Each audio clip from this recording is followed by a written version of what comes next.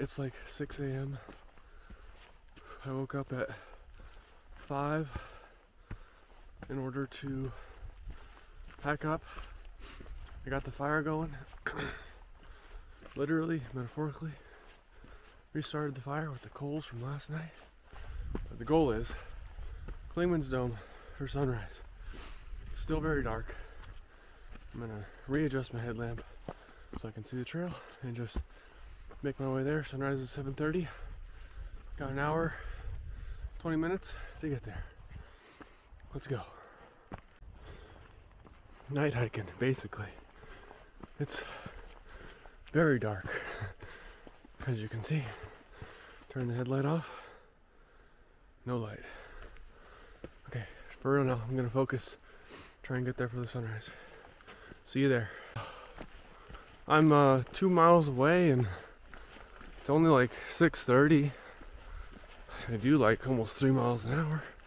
So if my calculations are correct, I will actually be there as the sun rises. Oh, feels so good to do something that I don't like doing.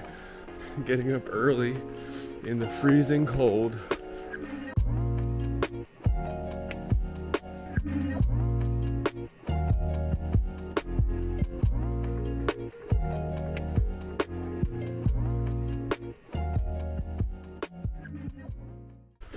There it is. I'm here. The dome. Oh, I'm not the only one here.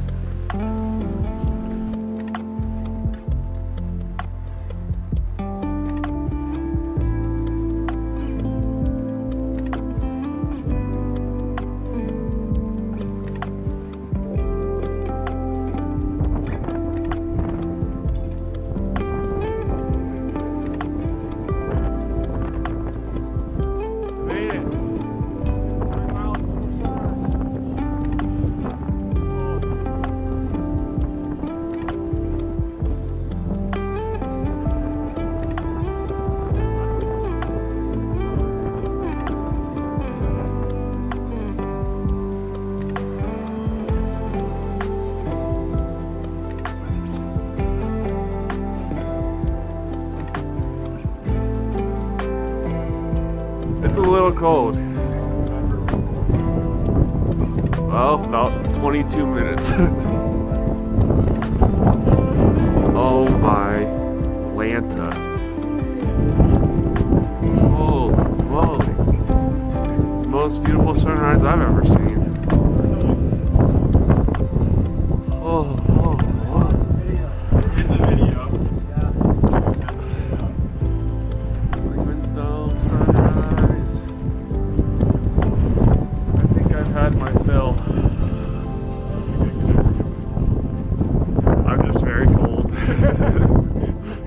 Right though, it's hard. I, I, I'm still here, so. I understand what you mean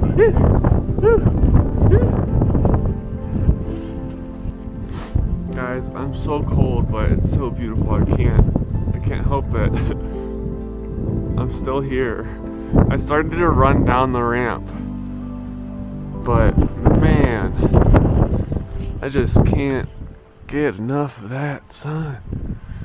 Woo. Okay, well, they did it. Oh, sunrise at Clingman's in March is no joke.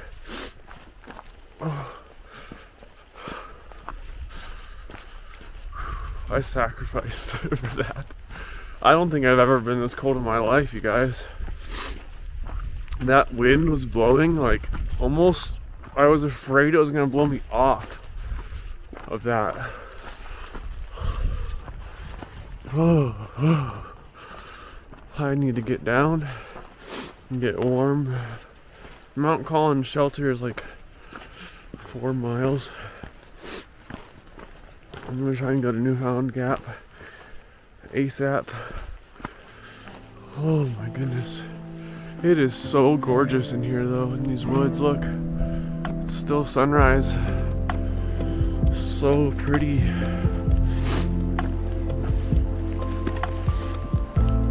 Oh, very cold, but very worth it. I've never felt more alive.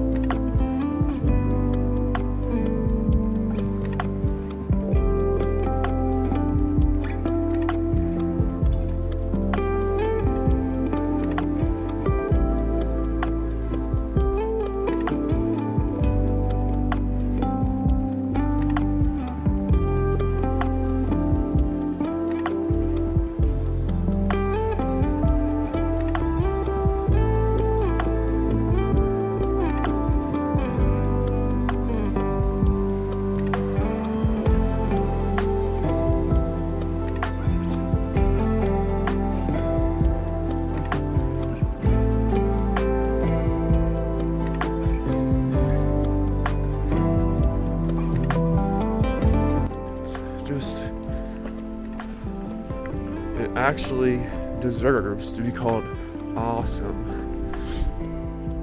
All inspiring i am just in awe I'm, I'm in a lot of pain and cold but oh i can't feel my fingers but it's it's worth it. Every bit was worth it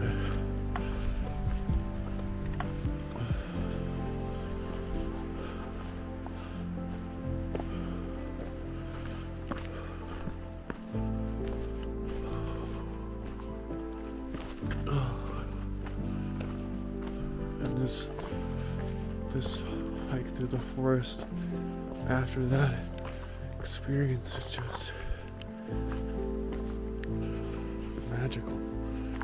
Just gotta be really careful because every step is just ice.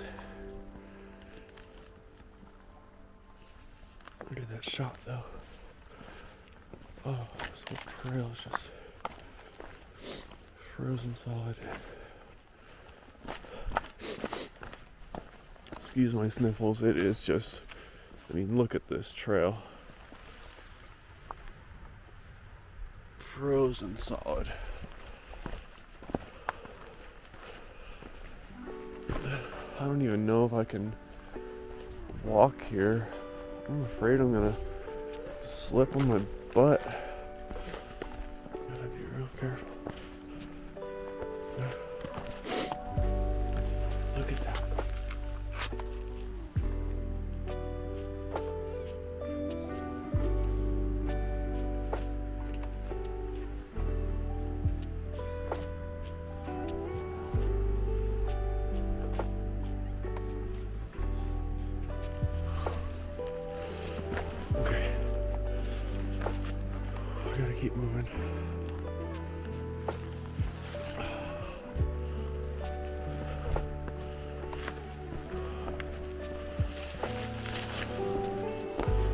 Totally worth the early, early warning.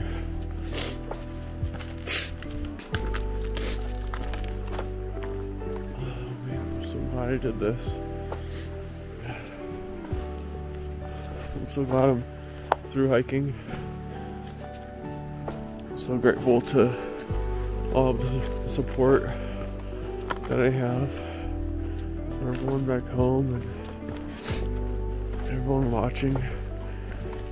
I'm so grateful for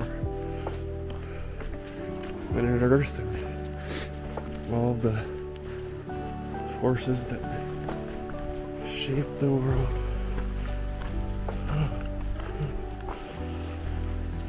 people wonder, you know, why are you doing this? Why are you through hiking? Some people do it for, you know, to conquer the trail or, oh, I'm gonna do most miles in the fastest time. Da, da, da. For me, it's just very simple. I just, I just want to see the world. Why else are we here?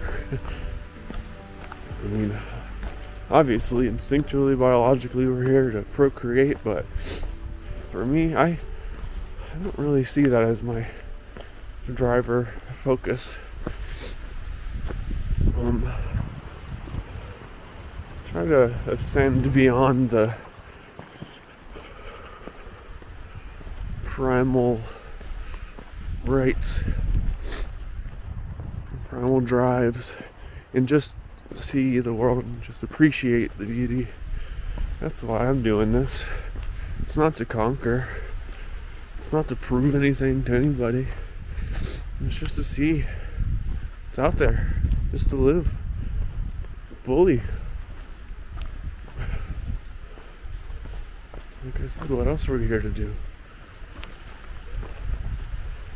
I don't want to just live my whole life going from one box to another and looking at boxes. For thousands of years, human beings lived in nature where everything's circular.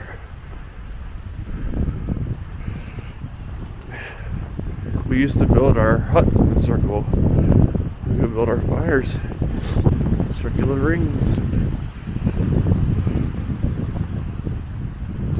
cycle of life and death is circular. cycle of water is circular. Now modern humans, we live in boxes. We wake up when a box next to us goes off, tells telling us to wake up. We get out of our house box, go into our box on wheels to go to another box to sit inside of a box within, stare at a box within that box. Just like I want to step out of the box see this kind of stuff. You know?